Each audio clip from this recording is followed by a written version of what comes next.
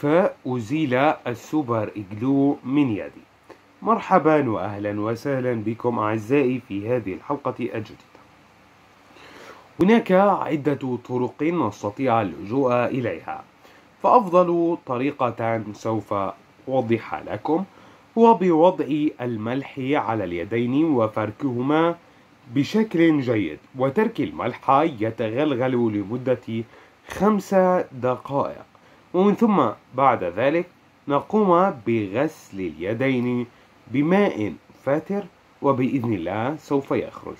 طريقة أخرى نستطيع استخدام طلاء الأظافر أو مزيل طلاء الأظافر بما يسمى الأسيتون. تقوم بوضع الأسيتون على يدك وبعد ذلك تقوم بفركه بشكل جيد والقيام بغسله أيضا وسوف نشاهد خروج السوبر إجلو من اليد. وإلى اللقاء.